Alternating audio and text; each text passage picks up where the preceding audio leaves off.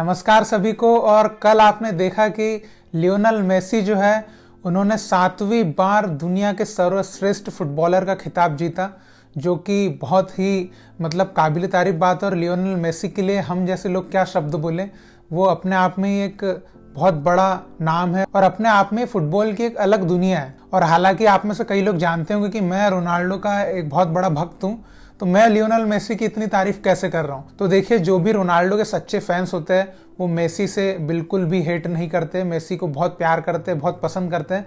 और एक्चुअल में अगर देखा जाए, मेरा पर्सनल ओपिनियन तो लोग रोनाल्डो से उतना गेम स्टाइल नहीं सीखते जितना कि वो मेसी से सीखते हैं। क्योंकि रोनाल्डो का जो गेम स्टाइल है, काफ़ी स्किलफुल है और मेसी एकदम सिंपल गेम सिंप्लिसिटी और वैसा सिंपल गेम ही हर कोई सीखना चाहता है। अब रोनाल्डो जैसी स्किल्स तो हर कुछ सेकंड में कर नहीं सकता हर कोई। तो लोग मोस्टली मेसी की स्किल्स को ही फॉलो भी करते हैं, सीखने की ट्राई करते हैं ड्रिल्स वगैरह। और एज अ रोनाल्डो फ़ैन मैं मेसी के लिए बहुत खुश हूँ। और बात की जाए हमारे रोनाल्डो की तो देखिए, वो तो बहुत नीचे चले गए इस बार की वोटिंग में। लेकिन कोई बात नहीं, रोनाल्डो तो रोनाल्डो है, फिर से उठेंगे, क्योंकि एज सिर्फ़ एक नंबर है रोनाल्डो के लिए। आप देख सकते हैं, इस एज में भी रोनाल्डो किस तरह का कीर्तिमान बना रहे हैं। और लियोनल मेसी को बधाई, उनकी टीम को और उनके परिवार को बहुत बहुत बधाई एक रोनाल्डो फ़ैन की तरफ़ से और भारतीय फुटबॉल फ़ैन की तरफ़ से और पूरे भारत की ओर से। क्योंकि भारत में जितना मेसी को प्यार किया जाता है, मुझे नहीं लगता दुनिया में और कहीं किया जाता होगा। मतलब भारत में मेसी रोनाल्डो की जो फ़ैन फॉलोइंग है, मुझे लगता है कि दुनिया में सबसे ज़्यादा फ़ैन फॉलोइंग यही होगी।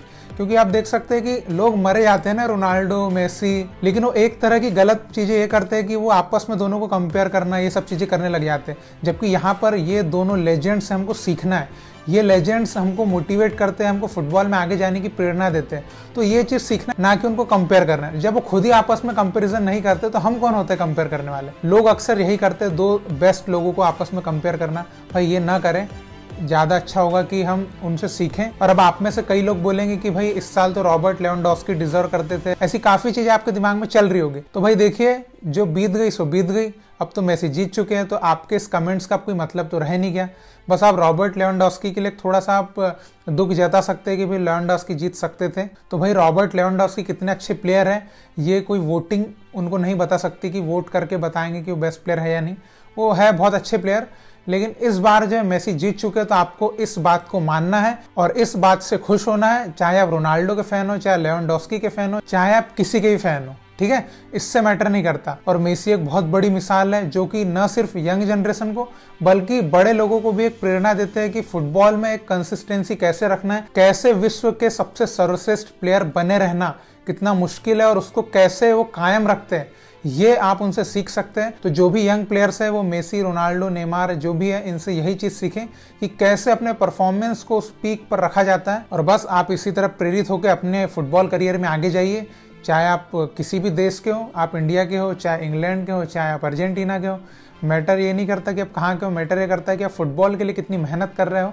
आप ज़रूर ऊपर जाओगे और आपको कोई दुनिया की दीवार उस लेवल तक जाने से नहीं रोक सकती है, ठीक है? और खासकर हम भारतीय फुटबॉल फ़ैन मेसी को बहुत प्यार करते हैं और मेसी से बहुत कुछ सीखते हैं।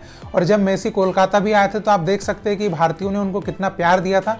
और हम यही आशा करते हैं कि मेसी एक बार फिर भारत आए और रोनाल्डो भी भारत आए लगे तो मेसी और रोनाल्डो अगर साथ में भारत आ गए तो ये भारतीय इतिहास में बहुत बड़ा काम हो जाएगा और हर भारतीय फुटबॉल फ़ैन इन दोनों प्लेयर्स को भारत में देखना चाहता है। तो मैं सभी फुटबॉल फ़ैन से यही गुजारिश करूँगा कि भाई, जो भी प्लेयर्स होते हैं, सबकी इज़्ज़त करें, ऐसा नहीं किसी से हेट करना है कंपेयर करना है बस इतना ही कहना चाहता हूँ।